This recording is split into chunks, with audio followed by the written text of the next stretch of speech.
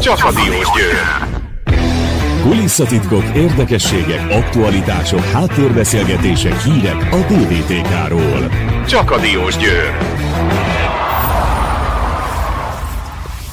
Közeleg a nagy nap, május 5-én szombaton felavatásra kerül a megújult Diósgyőri stadion. Sok-sok munka vár még mindenkire, játékosokra, szakvezetőkre, no és persze a klub munkatársaira is. Ma nyilatkozik nekünk az újpesti találkozóra, két éjszakát is lehet álmatlanul forgolódó és mérkőzést értékelő, illetve már a szombati nagymeccsre készülő Fernando. A DVTK trénerét követően a szintén szombaton nyíló DVTK shop mutatkozik be. A foci után jégkorong is lesz a mai 20 percben. Egri István szakosztály elnök a szlovák Extraliga és a csapaton belüli esetleges változások kapcsán nyilatkozik rádiónknak. Én úgy gondolom, ezúttal is érdemes velünk tartani, hiszen a DVTK magazinból minden hír, esemény háttérinformációit megtudhatja hallgatják. Ez tehát a Csillagpont Rádió, benne a Csakadiós Győr műsorunk, ezúttal is a szerkesztő műsorvezető Martini Emil.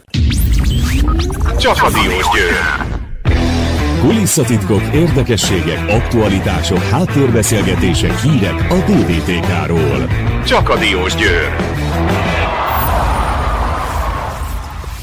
Mint ismert, az OTP Bankliga 28. fordulójában rengeteg helyzetet alakított ki az Újpest labdarúgó csapata a DVTK ellen még szombaton, amiből egyet értékesített is, míg a másik oldalon szintén ugyan támadóan fellépő DVTK ezen a szombat délutánon csak helyzetekig jutott, így a vége Újpest DVTK 1-0. Ferrandót a Diósgyőr vezetőedzőjét hagytuk megemészteni a mérkőzést, és bár a meccs után is higgadtan értékelt, mi kíváncsiak voltunk arra is, hogy átaludva pár éjszakát hogyan látja most a találkozót, illetve az előtte és a csapat előtt álló feladatokat. Yes, of course, uh, was a tough match. We knew from the voltak különböző elemek, amiket a héten gyakoroltunk, és szeretett volna viszont látni, nem minden esetben valósult meg, de egy nehéz helyzet most ezt a játékosoknak, nem jött vissza az teljes mértékben, amit szeretett volna. But I think that in that moment, this difficult situation for the players, uh, they couldn't show what they want. And football has this kind of things. Uh, Futball az ilyen, hogy vannak benne fordulópontok. Nyilván nekünk ott volt két lehetőségünk, az Újpestnek is voltak helyzete, amik kimaradtak. Mindig a pozitívumokat uh, kell megpróbálni megkeresni egy mérkőzésből. Ennél többet szerette, több pozitívumot szeretne kapni, mint amit most kapott, de ezeket is meg kell ragadni, amiket, amiket most talál a mérkőzésben. Of course, I would like to take more than when I got, but I think they they have more more chances than us. I think the second half have a második félidőt azt két részre bontaná, úgy gondolja, a második fél első felébe kontrolláltuk a meccset, az ellenfél térfélén tudtuk tartani a labdát, az, az sokkal jobban nézett ki. A második félidő második felébe, ott viszont úgy érzi, hogy fizikálisan elfogytak a játékosok, aminek nyilván rengeteg összetevője lehet, új edző érkezett, újfajta munkamódszerekkel dolgozik, tehát ez nyilván ez kijött. New coach, new style, usually happened. A lot, a lot because was the first match uh, that I can see many players Rengeteget tanult ebből a mérkőzésből, hiszen igazán most látta a játékosokat versenyhelyzetben teljesen más, amikor edzésen látja őket, amikor videón látja őket, most látta, hogy hogy reagálnak egy ilyen szituációra, amikor vezet az ellenfél, hogy versenyeznek, hogy viselkednek az öltözőbe, de úgy gondolom, hogy rengeteg tanulságot szolgáltatott ez a, ez a meccs. To solve the situation. So I learned a lot and I know too much better than before uh, to my players. Uh, no, was uh, like I told you, like I told many times, was a very hard days. Nagyon kemény és intenzív napokon van túl, viszont jövőbe kell most már nézni, következő meccsre kell készülni, hiszen ez nekünk egy döntő mérkőzés lesz. Course, and in this way we have to work for preparing and to be ready for the next match because for us is our final. Csak a Diós Győr! Kulisszatitkok, érdekességek, aktualitások, háttérbeszélgetések, hírek a DVTK-ról. Csak a Diós Győr. Kígyóztak és kígyóznak a sorok a megújult TVTK stadion pénztára előtt, ahol a még három idénybeli hazai meccsre bérletet lehetett vásárolni, bérletet megújítani, illetve a jegyeket megvenni a szombati Borsodi rangadóra, a DVDK mezőkövest meccsre, amely ezúttal már az új arénában kerül megrendezésre. Persze, hogy nem csak a szurkolók készülnek lélekben, a játékosok az edzéseken, hanem a klub munkatársai is lázasan vetették bele magukat a munkába, hogy május 5-e mindenki számára egy felejthetetlen élmény legyen. Hogy erről valami kisebb-nagyobb erekje is maradjon, arról a DVTK-sok gondoskodik, amely szintén a meccs napján nyitja majd meg kapuit, imáron a megújult stadion, Andrási úti részén. A DVTK-sok megnyitása előtt készített riportunkat hallják.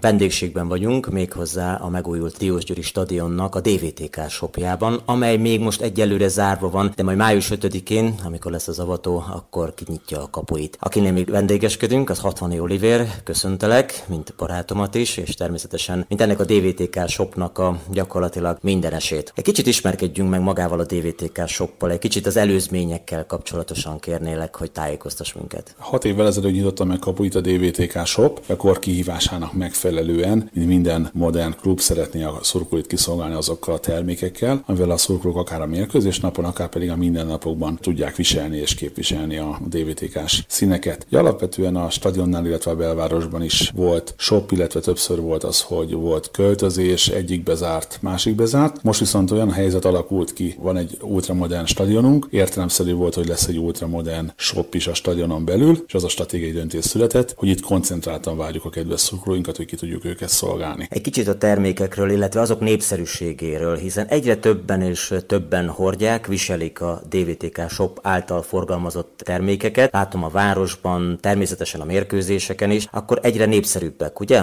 Ezek a különböző termékek, de mik ezek a termékek pontosan? É, igazából nagyon büszkék vagyunk arra, hogy a mi szurkolóink folyamatosan és nagy mennyiségben vásárolják és hordják ezeket a termékeket, hiszen ahogy a szurkolóink száma is gyarapszik, és ahogy régiós klub vagyunk, és ugye három megy megyének a csapata vagyunk, így a szurkolói létszámunk, ami sosem volt alacsony, ugye nő, és ugye itt a, magát a klubot szeretik a szurkolók, tehát január 1-től december 31-ig folyamatosan vásárolnak, és akkor a termékek kínálatáról. Természetesen alapvetően kettő nagy termékcsoportot különböztetünk meg, az egyik az a kifejezetten a, a meccsnap használatos termékek, legjellemzőbb azt hiszem mindenkinek egyből az úrik be a sál, ami, ami kifejezetten egy meccs egy ünnepnapi termék. A másik osztály pedig az, ami a mindennapokban is viselhető. Itt a mesztől től kezdve póló, kapusznis felső, ugye a legnépszerűbb, leges legnépszerűbb termékeket, sapka, baseball sapka tudom kiemelni, és hát gyakorlatilag igazából úgy építettük fel a termék kínálatot, hogy a pár száz forintos termék, ami esetleg a jegyvásárlás után marad egy kis apró a zsebbe, valami apróságot szeretnék vinni haza a gyereknek, tehát egy nyakba akasztó, egy műanyag úti pohártól egészen a prémium kategóriás termék, ami mondjuk gyakorlatilag lehet egy névre szóló számmal szóló számmal névvel ellátott mez. Ha már említetted azt, hogy ugye egész évben ugye nyitva tart, és egész évben tart gyakorlatilag a DVTK szurkolók részéről a vásárlás. Vannak azért kiemelkedő időszakok, például a karácsony, de például az is kiemelkedő időszak lehet, amikor ugye nyer a csapat, vagy jobban megy a csapatnak. Ezeket hogy tapasztalod? Megvannak ezek a hullámvölgyek? Természetesen azért mindig a, a szezon kezdet az egy nagyon erős időszak, hiszen ahogy indul a szezon, új szezonra új sárdukál, kinőttük a tavalyi pólót,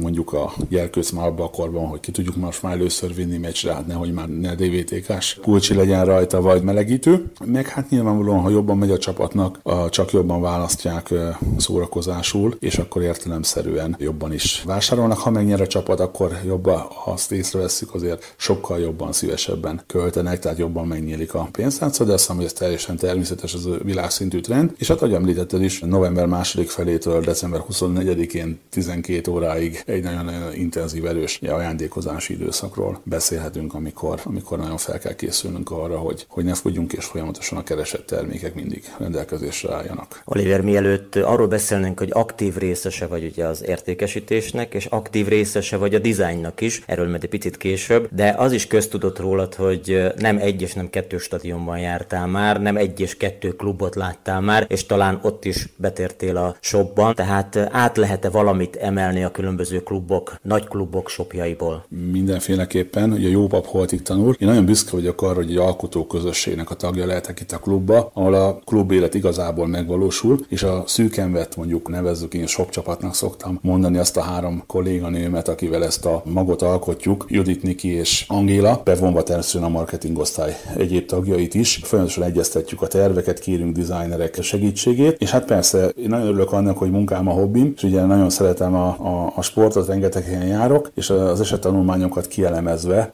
alkotunk dizájnt, és ha látunk egy jó ötletet, akkor azt becsatornázzuk, és a döntési folyamat után megvalósítjuk. És ha már említetted itt a, folyamatosan az újdonságokat, ugye igyekszünk kiszolgálni a, a kedves vásárlókat, természetesen május 5-ére is készülünk egy-két meglepetéssel, ami még eddig, eddig nem volt, tehát új termékkel. Én úgy gondolom, hogy értékesítésben, kereskedelemben ez, ez teljesen trendi és elfogadott. Ennek így kell lennie. Természetesen vannak, vannak standard termékek, ami folyamatosan mindig vannak, és gyakorlatilag minimális láncfelvarrás szükséges, de mi is igyekszünk mindig megújulni. És hát természetesen, hogy a világ változik, úgy próbálunk mi is változni vele. Gondolok itt akár a webshopra, ami gyakorlatilag a modern világ velejárója. Ezt is természetesen tavaly évtől elindítottuk, úgyhogy minden csatornán igyekszünk kiszolgálni a szurkolóinkat. Oliver, melyik a személyes kedvencet, hogyha lehet ilyet kérdezni? Gondolom sok minden termék a szívedhez közel áll, de melyik a kedvenc? Talán a leges-leges legnagyobb kedvenc az a tavaly februárban kijött úgynevezett mint tépős pólónak, így is van fönt a webshopon is tépős pólónak hívott változat, ahol egy két izmos kéz, mintha egy 3D-s grafikával tépi le saját magáról a pólót, és alatta pedig kivillan a Szent Jós György címer. Ennek a fekete változata, amit nem csak én, a kollégáim is, hanem a, a szurkolók is talán leginkább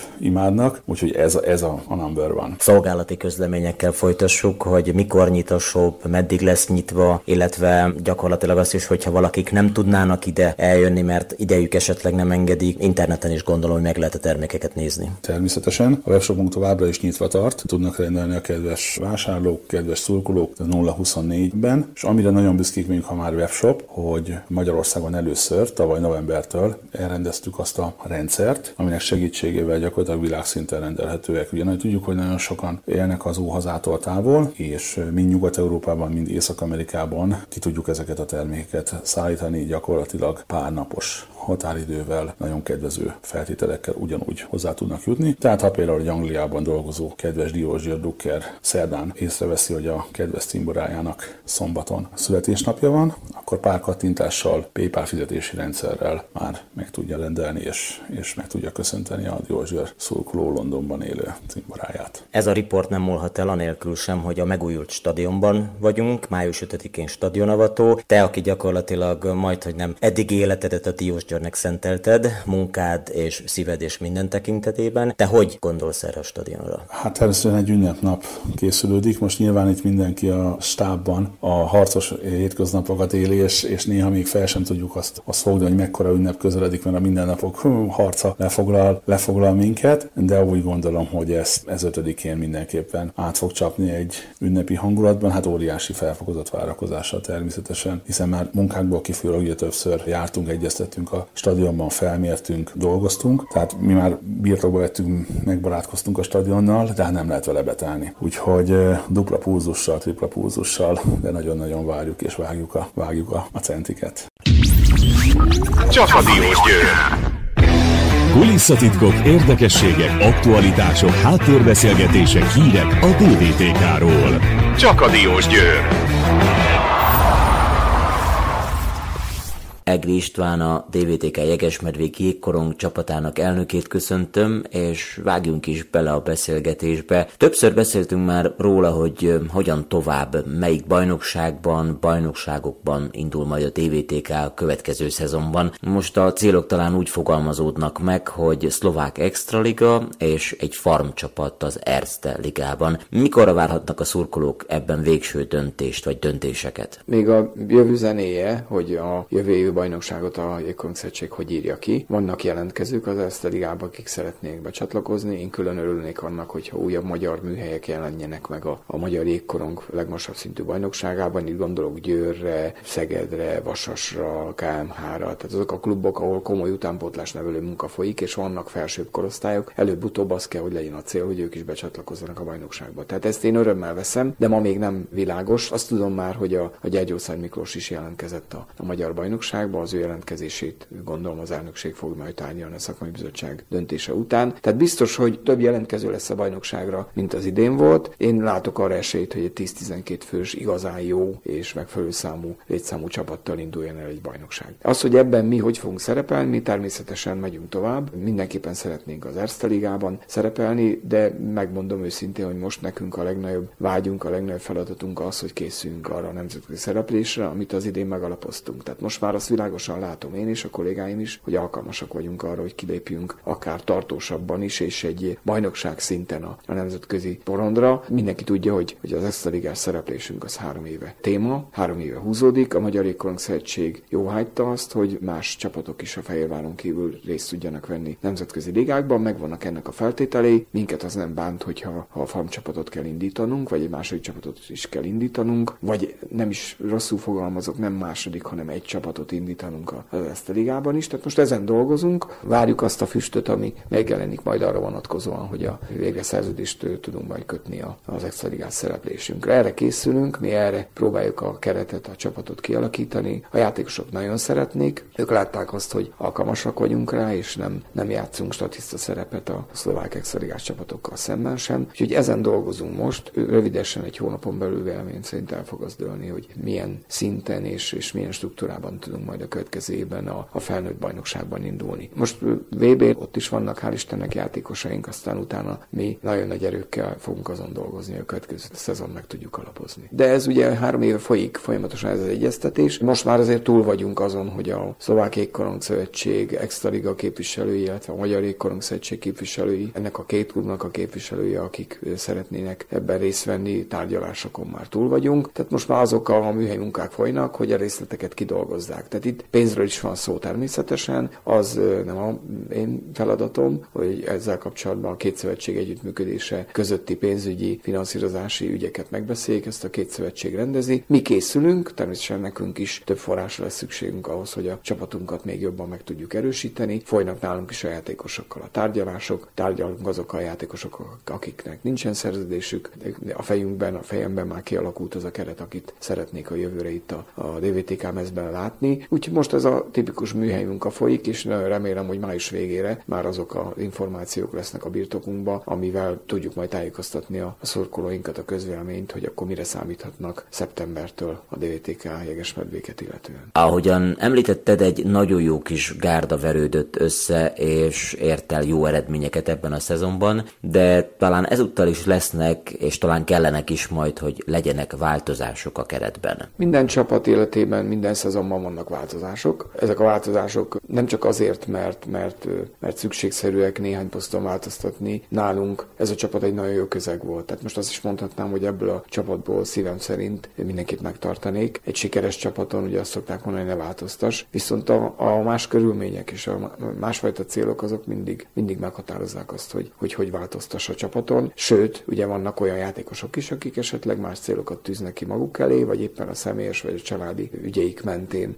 máshogy kell dönteniük. Tehát ez egy közös gondolkodás és, és együttes feladat az, hogy játékosokkal ezt megbeszéljük, de ez ugyanúgy érvényes a stábra is, tehát egy csapatot nem csak a 22 játékos alkot, hanem mellette legalább ennyi segítő van, akiknek a munkája ugyanolyan fontos, mint a játékosoké, tehát velük is tárgyalok erről, arról, hogy jövőre milyen szempontok szerint alakítjuk ki az új gárdát. Tehát visszatérve arra, hogy, hogy mennyit tudunk változtatni, vagy kell-e változtatni, fogunk változtatni az előbb elmondott indokok alapján, meg természetesen azt szeretném, hogyha sikeresek lennénk az Excel ligában is, tehát szeretnénk mélységében egy kicsit erősíteni a csapatot, tehát minél több olyan játékosunk legyen, aki alkalmas arra a színvonalra. Itt most azért nem titok az, hogy Magyarországon azok a játékosok, akik erre a szintre alkalmasak, nincsenek százasával, sőt még tízesével sem. Tehát most én azt gondolom, hogy ez a három csapat, aki nemzetközi szinten szerepelhet, ezek remélhetően és hál' Istennek föl is fogják szívni azokat a magyar játékosokat, akik erre alkalmasak. Hát szépen gondolom meg fogunk ezen osztozni. Nekünk azért annyiból szerencsénk van, hogy, hogy a csapat gerince szerződéssel rendelkezik. Tehát az a, az a 10-15 játékos, aki erre alkalmas erre a szintre, ezek vagy szerződéssel rendelkeznek már, vagy megállapodtam velük, vagy itt akarnak maradni. Tehát ebből a szempontból itt Miskolcon nekünk könnyű helyzetünk van. Meg azért én azt gondolom, hogy az elmúlt évek során mi kialakítottunk itt egy olyan környezetet, egy olyan műhelyt, egy olyan infrastruktúrát, egy olyan szellemet, amit a játékosok nagyon szeretnek. Nem véletlen az, hogy engem válogatott játékosok keresnek, egyeztetek én is velük, hogy kik azok, akik szeretnének ide jönni játszani, hogy kik azok, akik tudják azt, hogy itt milyen körülmények között lehet játszani, illetve fejlődni tovább. És ugye mindig felhívom figyelmet arra, hogy, hogy a közönségünk az, ami az egyik fő vonzerő. Tehát azok a játékosok, akik eddig ellenfeleink voltak, azok mind nagyon nagy elismeréssel szólnak mindig a mi közönségünkről. Tehát öröm játszani egy ilyen közönség előtt, ők mindig ezt mondják. Sőt, az ellenfeleink is azt mondják, hogy nekik ellenfélként is sokkal jobb itt játszani, mint, mint olyan csarnokokban, ahol, ahol